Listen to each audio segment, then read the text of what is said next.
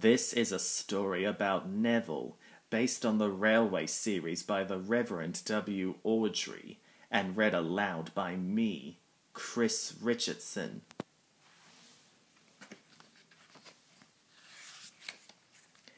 This is a story about Neville, a little engine who just wanted to be friends, but Thomas and the others wouldn't give him a chance, and that got them all into trouble. One morning, the Fat Controller made an announcement.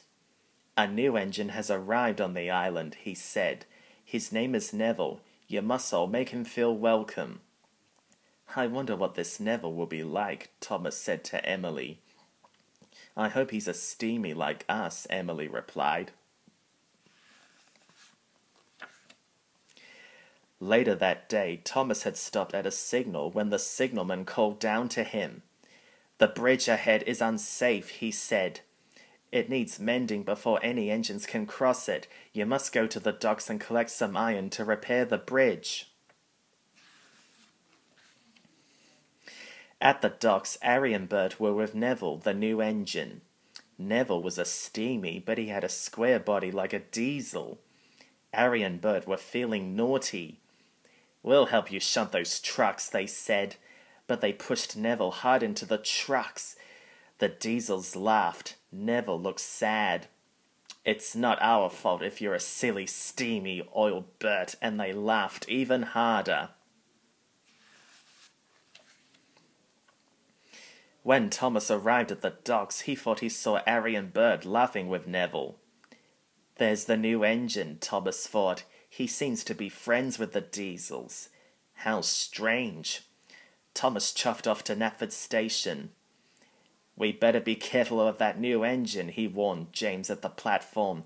I saw him laughing with Arry Bird at the docks. James was shocked a steamy friends with diesels. He chugged off to take on water. That new engine Neville is best friends with the diesels, he puffed when Percy passed by. He doesn't like steamies, Thomas told me. Later, Percy met Emily at a red signal.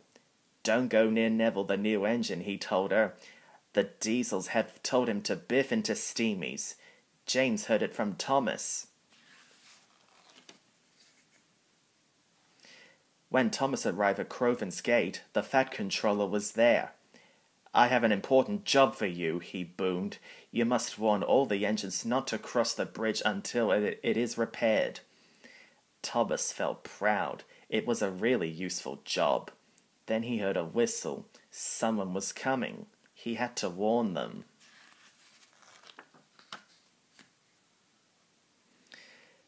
But when Thomas saw it was Neville, he forgot all about his important job. He's pulling Annie and Clarabel, Thomas sulked crossly. They're my coaches, not his. Hello, puffed Neville perkily. I'm not talking to you, Thomas huffed. Neville was puzzled and sad. When Emily pulled in next to him, Neville gave her a big friendly smile. He hoped she would be nicer than Thomas. Emily reached out steam. It's no use trying to make friends with me, she said grandly. I know you're going to biff until all the steamies just like the diesels told you to. Neville didn't know why she was being so horrid to him, but the station master blew his whistle and Neville had to chug away sadly.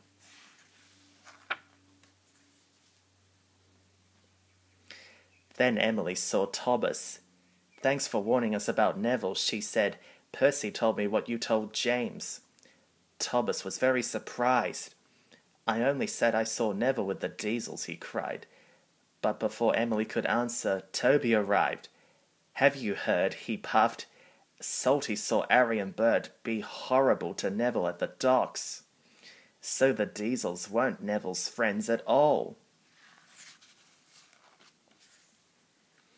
All of a sudden, Thomas remembered where Neville was going.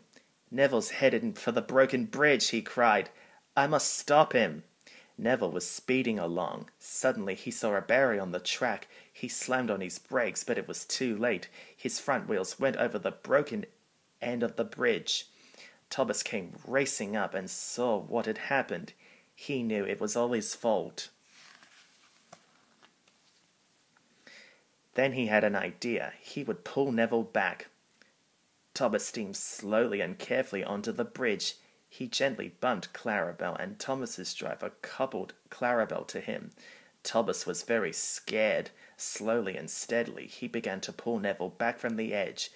The bridge creaked. Thomas had to hurry. With one big puff, he pulled Neville to safety. Thanks, whistled Neville.